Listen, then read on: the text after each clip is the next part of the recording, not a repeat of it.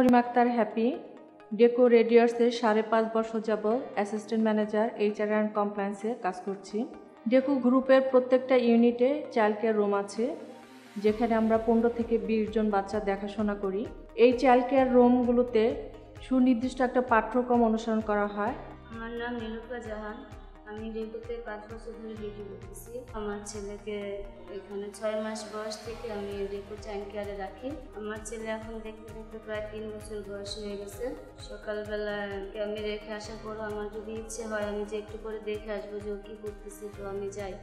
যে দেখি যে ওদের সকালে আসার পর ওদের ড্রেস চেঞ্জ করছে। চেঞ্জ করে ওদেরকে পিটি করাতে দাঁড়া করাচ্ছে পিটি করে ওরা হাত মুখ ধুয়ে ধুয়ে টেবিলে বসে নাস্তা খায়, নাস্তা খেয়ে যারা একটু বড় বাচ্চা তারা পড়তে বসে আর যারা ছোট বাচ্চা, তারা খেলাধুলা করে। তো ওদের যখন পড়া হয়ে যায়, তারপরে ওদেরকে কিছু সময় ছেড়ে দেয়, ওরা টিভি, কার্টুন দেখে দেখে ওরা আবার কোম্পানি থেকে যে নাস্তাটা দেয়, ওই নাস্তাটা খায়। খেয়ে ওরা আবার একটু খেলাধুলা করে করে গোসল করে গোসল করে ড্রেস করে আবার টেবিলে বসে দুপুরের লাঞ্চ করে লাঞ্চ করে ওরা হাত মুখ ধুয়ে বিছানায় শুয়ে ওদেরকে আবার বিকালবেলা উঠায় উঠায় কোম্পানি থেকে যেই খাবারটা দেয়, ওই খাবারটা আবার বিকালে ওরা খায়। খেয়ে যারা একটু বড় বাচ্চা ওরা ড্রয়িং করতে বসে, আর যারা ছোট বাচ্চা ওরা খেলাধুলা করে।